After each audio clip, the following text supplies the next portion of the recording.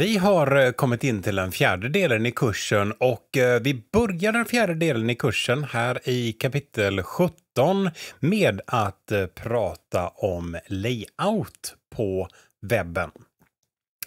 Så, layout på webben. Låt oss ta en, en tur down memory lane.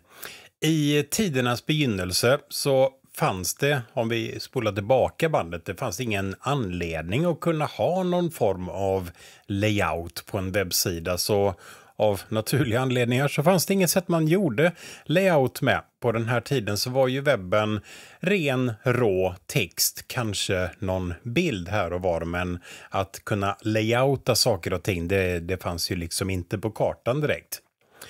Eh, när det då kom ett behov av att kunna layouta saker på en webbsida så tittade man naturligtvis på, okej, okay, vad finns det för sätt? Vad finns det för grejer i HTML som gör att vi skulle kunna layouta saker och ting? Så kom man fram till att, hmm, vi har tabeller.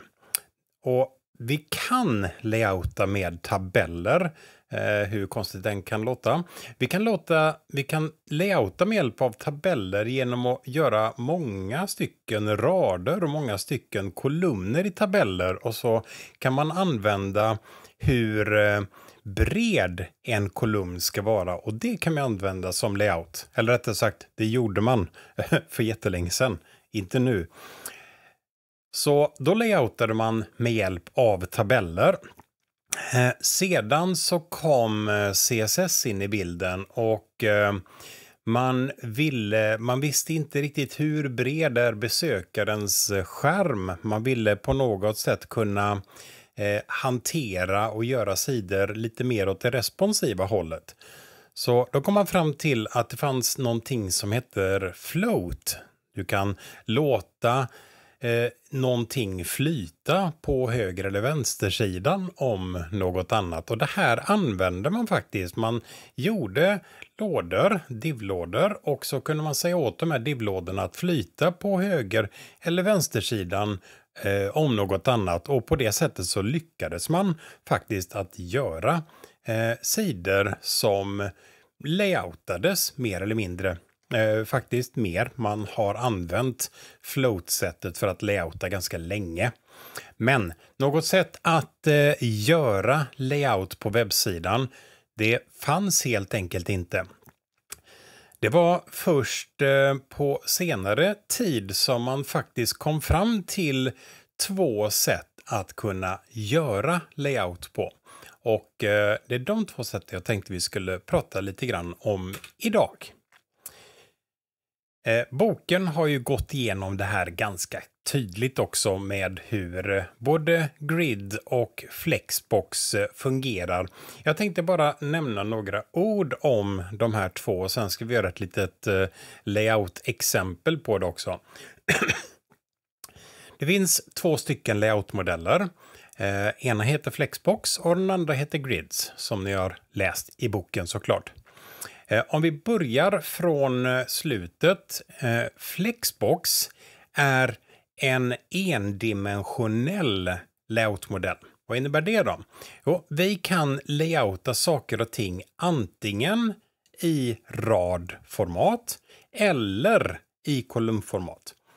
Den är endimensionell på det sättet att vi kan använda den antingen åt det hållet eller åt det hållet. Vi kan inte göra layout i två stycken led. Vi kan inte göra i den och den leden. Vi kan välja antingen sidled eller i höjdled.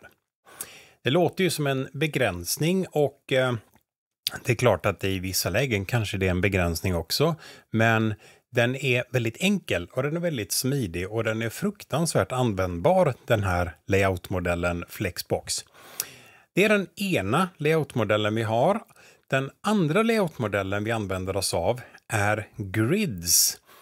Grids är en layoutmodell där du eh, kan layouta saker och ting både åt det hållet och åt det hållet. Det är en tvådimensionell layoutmodell.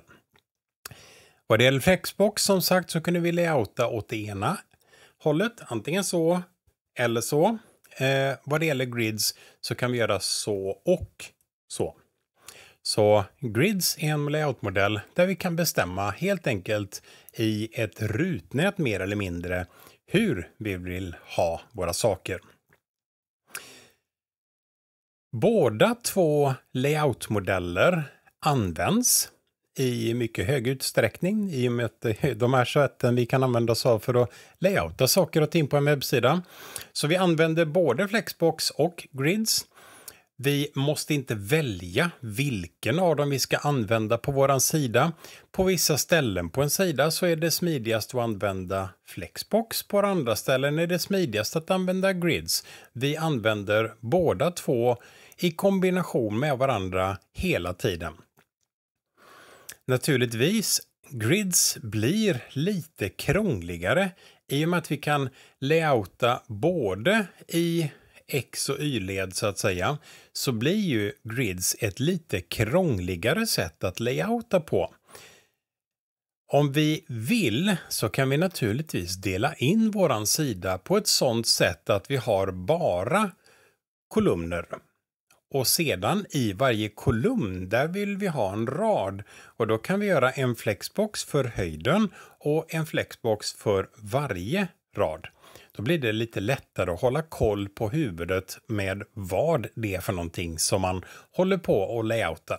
Eh, jag tänkte vi skulle ta och kika lite på exempel på hur vi gör för att layouta saker med CSS och med grids. Vi tar och börjar med eh, grids tycker jag. Så in i kodeditorn och så tar vi och sätter igång. Jag börjar med att göra en ny fil. I Visual Studio Code trycker jag på plusknappen för att skapa en ny. Jag skapar en fil jag kallar för index.html. Varför då, tänker du kanske? Index.ml är normalt sett den första filen som en webbserver letar efter i en mapp. Det finns eh, andra namn som den troligtvis också letar efter ganska tidigt. Den letar efter index.html, index.pop, index.asp, index.aspx. Den kan leta efter default.htm och så vidare. Men eh, index.html är normalt sett den första filen en webbserver letar efter, så därför brukar vi döpa startsidan till index.html i verkliga livet och även här. Okej, ny blankfil har vi. Jag skriver utropstecken och använder Emmet abbreviation för det där. Gör att jag får in hela headen och det låter som en bra sak. Introduktion till grids kan vi väl kalla den där sidan. Okej, vad ska min sida innehålla? Eh, jag vill göra layout. Och eftersom jag vill använda mig av en layout på den här sidan så blir det väldigt praktiskt att använda en wrapper. En wrapper är ju en tagg som jag inte direkt använder till något. En wrapper är en tagg som jag lägger runt alla mina element. Och det jag använder rappen till är framförallt att hålla koll på layouter och eh, hur stor webbläsaren är hos besökaren för tillfället. Så eh, en god idé är att alltid börja med att göra en wrapper. Okej, okay, vad vill vi ha i wrappen? Jag vill göra en sida som innehåller en header. Den ska innehålla en main-del, den ska innehålla en sidebar och den ska innehålla en footer slutligen. Kaching så är det där klart.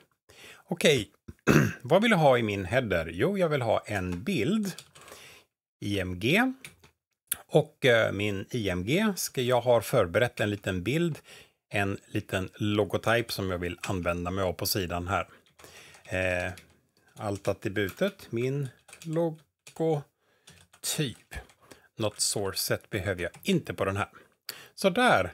Eh, jag vill dessutom i min header ha en eh, navigationsmeny. Så jag tar och gör mig en ULLI-lista för det där. LI gånger fyra stycken och varje LI ska innehålla en länk och länken ska innehålla en text. Klick vecka och ett nummer. Så där. Och trycker vi på tab-knappen och kaching, där har vi en länklista som vi har framför oss. Mycket smidigt ämnet. Så där, det får bli headerdelen det. Main-delen, eh, låt oss göra en article i alla fall. Och eh, artikeln ska ha en H2-tagg. Eh, lorem, fem ord kan det vara i den där H2-taggen. Sen vill jag ha lite text under. Eh, låt oss säga fem stycken p-taggar innehållande lorem 60. Catching. Så där, då har vi lite text i vår eh, artikel också. Tar och sparar mitt dokument så att jag kan få upp det lite vackrare. Så där i foten. Nej, vi har en aside också. Vad ska vi ha i asiden? Eh, låt oss säga att vi gör en liten kortare punktlista där. En eh, UL, LI. Eh, vi tar sex stycken punkter. Sex stycken punkter säger jag och skriver sju. Och så några enstaka ord där bara. Så där. Och så har vi avrundningsvis en footer. Eh, med lite text i bara. Lorem 10. 10 stycken lorem ipsum-ord där. Spara det där och eh, så får det väl bli ett litet HTML-test här. Vi kan väl ta och kika på vad vi har eh, skapat oss. Hoppar in i webbläsaren och eh, trycker på index HTML-filen. Så där ser min sida ut just nu. Nu vill jag layouta den här sidan. Som vi ser så har inte sidan någon layout överhuvudtaget. Vi har inte använt någonting som har med layout att göra än så länge. Jag tänkte vi tar och fixar det där. Eh, jag gör en ny fil som jag kallar för style.css. Strålande. Jag vill använda den här style-filen också, så jag behöver länka in den. Link CSS blir fint och då använder den som standard style.css namnet, vilket var namnet som jag gav på min eh, CSS-fil. Okej, nu sätter vi igång. Nu ska vi layouta det här. Jag vill layouta den här sidan med hjälp av grids. För att göra det så om vi tittar på sidan hur den ser ut, eller vi kan i webbläsaren, det här gillar jag, högerklicka i webbläsaren och säga inspect. I webbläsaren kan jag då se hur ser min sida ut? Min sida, om vi trycker in alla de här grejerna. Jag har en bodydel på sidan. Vi vecklar ut bodydelen och ser att i bodydelen så finns det en wrapper. Okej, okay, vecklar ut wrappern. Och jag ser här att eh, wrappern tycks vara förälder till allting som ligger här under. När jag använder mig av layoutmodeller, oavsett om det är grids eller flexbox, så är det hela tiden på förälderobjektet som jag gör min layout.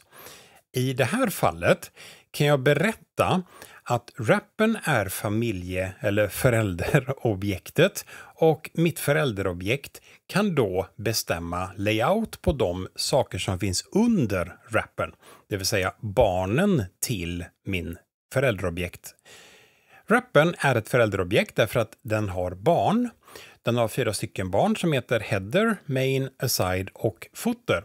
Jag kan nu alltså säga att rappen som är ett föräldraobjekt, ska då hantera layouten av de prylar som finns där under.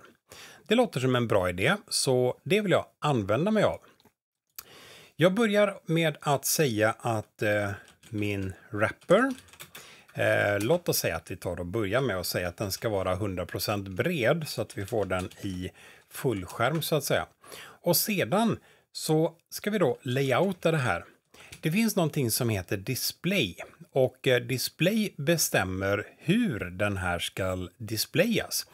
Vi har kikat på block och inline-block och så vidare tidigare.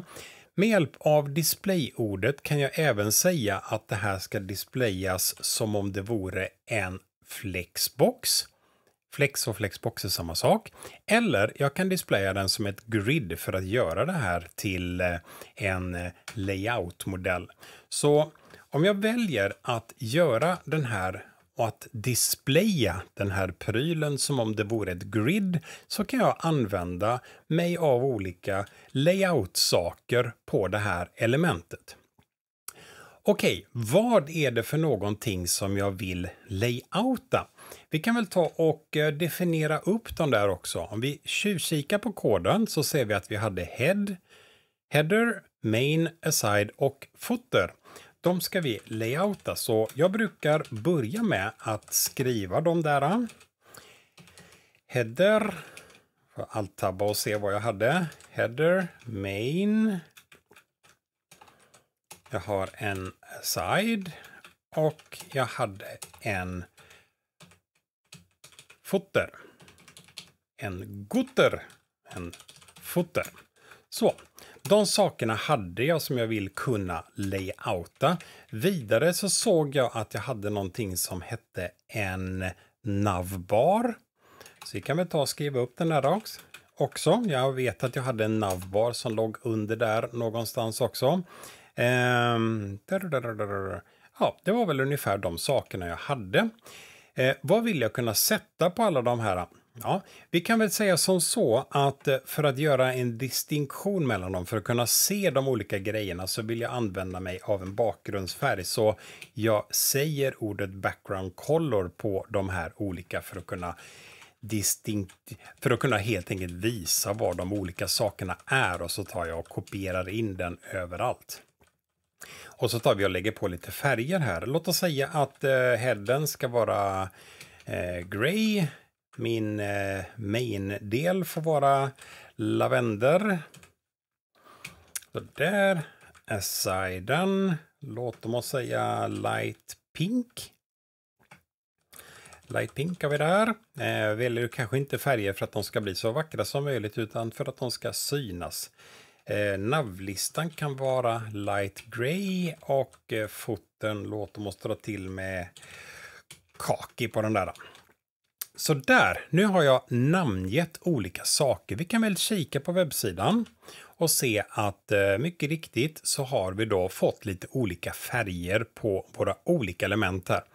Eh, när du layoutar saker och ting, det här är en jättebra tips. Använd färger som är lätta. Använd inte de färgerna som du kommer använda i din final version så att säga. Använd starka färger, klara färger, tydliga färger. Och det gör att komponenterna på din webbsida, det är väldigt lätt att se var de börjar och slutar så att säga. Så lägg inte tid på att välja så att säga rätt färger när du designar. Välj starka färger, färger som poppar till färger som gör det lätt för dig som utvecklar sidan att se var någonstans är de olika prylarna. Okej, nu har vi skapat oss lite olika färger på de här grejerna. Jag vill namnge de här olika komponenterna vi har. I grids så finns det två olika sätt att eh, göra det här på. Vi kunde se det i boken också. Jag kan med grids antingen använda mig av eh, ett system där jag säger att den här lådan ska layoutas på ett sådant sätt att den ska börja i, och då tänker vi oss det här rutnätet. Förlåt. Vi tänker oss det här rutnätet. Den ska börja i ett snedstreck det vill säga snedstrecket betyder hålla på till. Eh, fyra till exempel. Låt oss säga att jag har fyra kolumner och jag vill att den ska börja i den första och sluta i den sista, det vill säga ta upp hela bredden. Då skulle jag säga 1 snedstreck 4, det vill säga börja i den första intersection och sluta i den sista intersection. Det är ett sätt att layouta på. Eh, jag använder normalt sett det andra sättet att layouta på som jag tycker är mycket mer intuitivt. Det andra sättet att layouta på är att du namnger med ett namn alla ytor som du ska ha. Så det ger dem ett namn. Eh, vi ger dem ett namn med hjälp av Grid Area.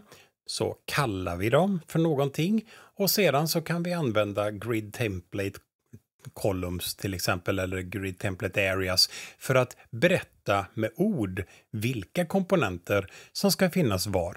Häng med så visar jag vad jag menar för någonting. Det här är ett mycket smidigt sätt att layouta på. Jag börjar med att namnge mina grejer. Jag namnger till exempel ytan där jag vill ha min header med hjälp av att ange ett namn. Jag kallar ytan för exempelvis head. Man kan göra lite som man vill. Jag brukar välja att alltid använda fyra bokstäver för att namnge mina ytor. Och anledningen till det kommer vi till om en liten, liten stund. Min main-del, låt oss kalla den för Grid Area Main. Min aside-del, ja, låt oss kalla min aside-del för uh, Eh, Grid Area Acid. Ja, det blir lite rumphugget där med bara acid, men eh, eller vi kan kalla den för side bara, så blir det nästan lättare att komma ihåg. Eh, navigationen, låt oss kalla navigationen för eh, Grid Area Navi. Eh, jag kan använda naturligtvis hur många eller hur få bokstäver jag vill, men jag visar alldeles strax varför det är en bra idé att använda lika många stycken tecken för de här olika. Så, nu kommer vi till punkten där vi ska göra själva layouten. Om vi sparar sidan och tittar på sidan så ser vi att eh, ja, det ser väl kanske inget vidare ut, men eh, det är nu det ska helt enkelt börja här. Nu har jag namngett olika ytor och eh, nu ska vi då layouta det här. Jag säger Grid Template Columns för att berätta hur ska storleksordningen vara på de här. Hur ska eh, sidan helt enkelt se ut? Det finns ett mycket bra mått som vi kunde läsa om i boken som heter fraction eller delar. Om jag säger Grid Template Columns tre fractions, mellanslag, en fraction. Så innebär det att eh, min sida, om vi har sidan här, delas, wow, snyggt, bort med dig. min sida delas in i två stycken delar. Den he hela alltet är eh, fullbredd så att säga. Den första delen ska vara tre fractions, ungefär där. Och den sista delen ska vara en fraction. Så den där är då tre fractions stor, tre stycken FR och den andra delen är en fraction stor. Så med, på det sättet så kan jag då använda fractions för att säga att den här ska vara tre delar respektive en del. Jag behöver inte berätta hur många pixlar bereden ska vara, även om jag skulle kunna göra det. Men jag kan då berätta hur många delar stor ska den vara. Det gör automatiskt det att när olika typer av besökare kommer till den här sidan så kommer allting bara att lösa sig och allting kommer bara att se bra ut. Vi kan väl berätta det andra också. Grid Template, eh, var har vi den? Grid Template Rows. Med Grid Template Columns bestämmer jag hur kolumnerna ska se ut. Med Grid Template Rows bestämmer jag hur raderna ska se ut. Okej, vi använder för raderna lite pixlar istället. Jag vill ha tre rader. Headerdelen, maindelen och fotodelen. Headerdelen ska vara 50 px stor. Jag vill ha 4 px stort på min, kom, min main-del och foten ska vara 100 px stor. Att berätta i pixelmått hur stort själva content ska vara är naturligtvis inte en bra idé. Jag vill ju jag vill att content ska bestämma hur mycket det ska vara. Jag skulle kunna skriva en stjärna eller en punkt eller något liknande för att bestämma att eh, den här är resterande. Eh, resterande helt enkelt, men eh, det gör vi inte nu. Okej, okay. nu kommer vi till själva layouten av den här sidan. Jag vill använda mig av Grid Template Areas för att namnge mina objekt. Jag skriver Grid Template Areas. Jag brukar ofta ha det på en ny rad på det här sättet. Jag har tre stycken rader, så då vet jag att tre stycken rader ska det vara. I den första raden, vad vill jag ha i den första raden? Förresten, vi spolar fram till den andra raden, den i mitten. Vad vill jag ha där? Jo, där vill jag ha min main-del. Och bredvid main-delen så vill jag ha min sidebar. Jag använder orden main och side därför att det är det jag har namngett dem till. Main och side. Okej, nu har jag då layoutat helt enkelt den delen. Header-delen vill jag ha längst upp. Den ska ta båda ytorna så att säga. På samma sätt som fotdelen ska ta båda ytorna. Vi tar och sparar det där. Jag har nu layoutat den här sidan med hjälp av namn. Jag ger mina olika komponenter olika namn och de här namnen använder jag helt sonika för att kunna berätta var någonstans prylarna ska befinna sig. Vi hoppar till webbsidan och eh, kan stänga av den där och jag trycker på F5 för att reloada och jag ser mycket riktigt hur saker och ting ser ut på min sida. Jag kan då se här exempelvis att eh, i och med att jag hade för mycket text här och eh, så där så blev det halvbra där i mitten. Vi skulle kunna ändra den där eller ännu bättre eh, minska ner texten en aning kanske, något sånt. Ja. Eh, jag skulle kunna ha lite mindre text här för att göra det tydligare. Jag tar och fixar det där. Istället för att ha så många kolumner eller så mycket text, jag tar väl bara och lämna kvar två stycken. Blir exemplet lite tydligare tycker jag. Sparar den där, hoppar och reloadar. Så. Jag har nu layoutat den här sidan med hjälp av att säga eh, att varje ingående komponent på den här sidan får ett namn. Och det är det här namnet som jag ser till att layouta efter. Jag tror min meny försvann där. Eh, min navbar kan jag väl berätta lite mer om. Mina list items. Mina list items ska ju få lite stil också. De ska vara inline element till att börja med. Eh, vad ska vi göra mer? Vi kan väl sätta en bakgrundsfärg på dem. Eh, Cadet Blue så de blir lite blåaktiga och så har vi lite padding på dem där också. Eh, låt oss säga lite padding, 10 pixlar är lite padding, så där och så sparar vi om det där. Så i alla fall, jag tror min meny försvann där. Jag vet inte riktigt vart den tog vägen. Det spelar inte så himla stor roll heller. Men i alla fall, eh, har jag någon text på de här? Eh, ja, det borde dyka upp. Ja, vi hoppar över det där lilla problemet vart de där tog vägen, för det är inte så himla viktigt. Det som däremot var viktigt, att vi använder flexbox, eller förlåt, vi använder grids för att layouta sidan och eh, vi gjorde det här på det sättet att vi namnger ytor och sedan när vi layoutar så hittar vi ett förälderobjekt. Och förälderobjektet är den som styr layouten för de barn som ligger där under. En av flera anledningar till att alltid använda en wrapper på sin sida är att wrappen blir det naturliga stället att lägga just layout-saker på.